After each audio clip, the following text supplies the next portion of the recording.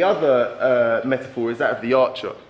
Uh, you guys are probably going to be going through um, over the next four or five years, probably your, your most testing, testing period of your time intellectually that you could, that you could go through.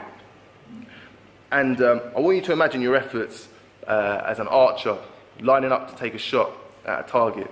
Now, the archer has, up until the arrow leaves his bow, to do everything he can to make sure that that arrow is going on target.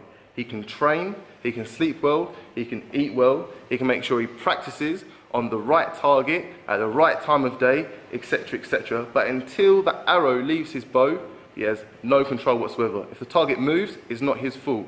If a gust of wind blows the arrow off track, it's not in his control, it's not his fault. So if, it if his uh, arrow does blow off, off track, what does he do? He gets up and he takes another shot.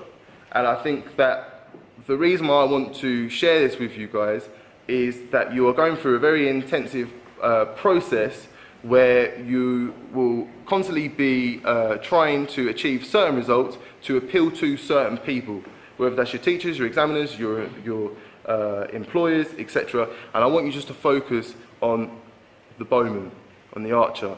You are only in control of everything up until the arrow leaves the bow.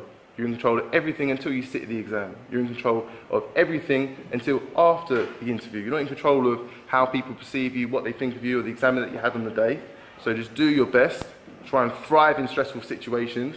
Be aware of what you can and you cannot tolerate. And I promise that you'll have a very healthy uh, life mentally and physically. Thank you.